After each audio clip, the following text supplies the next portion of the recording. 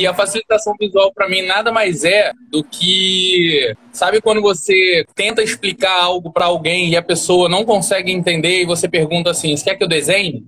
Exato. A facilitação visual é exatamente isso, é tipo, é você desenhar algo que já foi dito para que a pessoa entenda com mais facilidade do que quando ela ouviu pela primeira vez.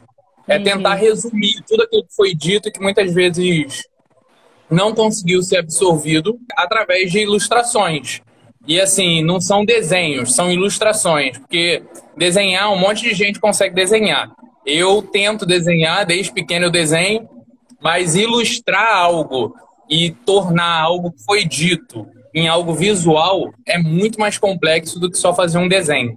Então, para mim é isso, é você desenhar aquilo que foi dito. A, a, ideia da facilitação visual é a gente conseguir desenhar coisas bonitas de uma maneira simples. Então, ele é sim, né, um desenho, uma ilustração, mas ele tem um, um, traço, né, uma linguagem muito simplificada, porque a ideia é justamente comunicar de uma forma visual e rápida, né?